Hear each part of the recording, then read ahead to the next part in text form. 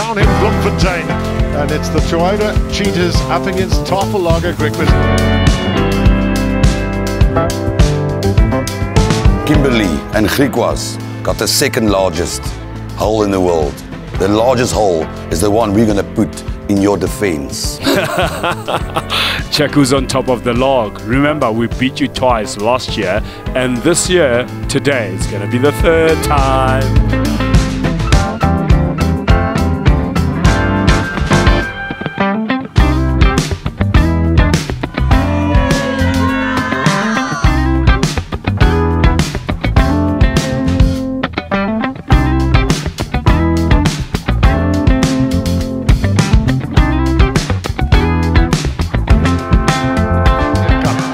His team on the front foot, and they've got enough power, surely.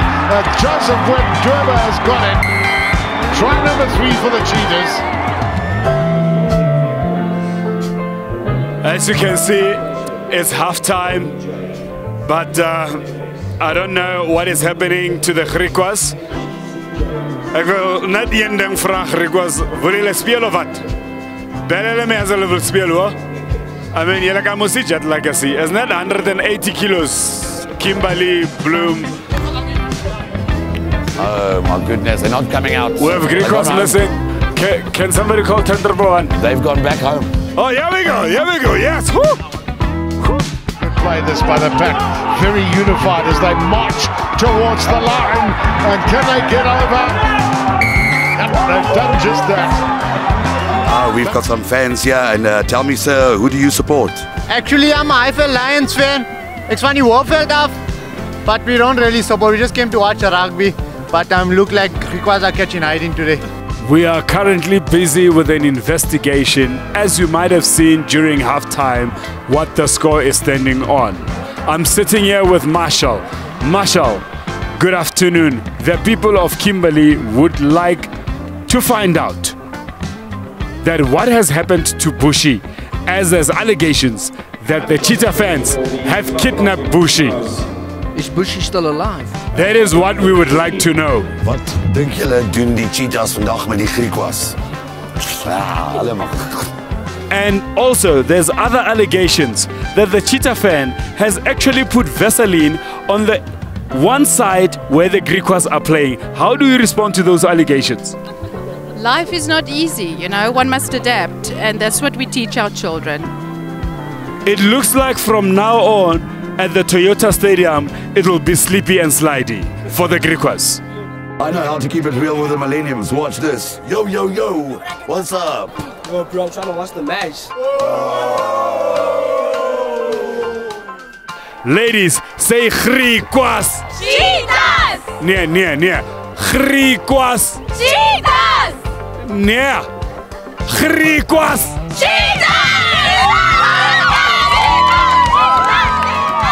As you can all see, the level of education in this country, even kids are turning orange. Uh, Daddy, what happened to your daughter? I see she's turning orange. She's a pure cheetah, pure cheetah. Uh, at the moment, this child really looks sick. Do you maybe want to move to Kimberley so that she can at least get a bit bluish? No ways. And the scoreboard just keeps on ticking over for this Cheetahs side. Exceptional play. Or is somebody just going to put the ball into touch? So we've had enough. No, everybody wants to play. Yes, for sure. Being a tall fella, he's managed to get above it. Here he comes, Louis Fischer, and what a finishing touch. Try number 10 for the Cheetahs.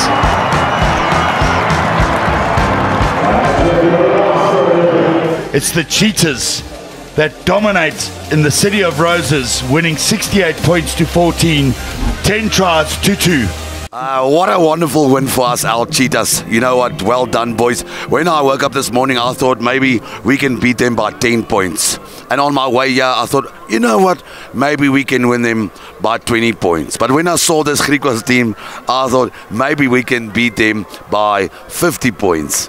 And you know what? We did. And what have you got for yourself to say? Because you you had a lot to talk this morning, you know. And uh, yeah, I don't. He's very quiet now. And I must say, what have you got to say for yourself?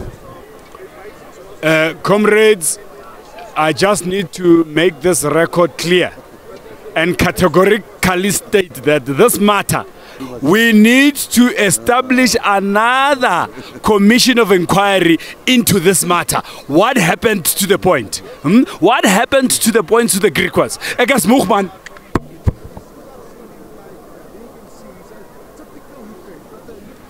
Let me tell you, go cheetah, cheetah. Ons sien julle Vrydag aand. Lions ons wag vir julle. Ek is Nicky Van, team commissioner vir Toyota Free State Cheetahs. Thank you.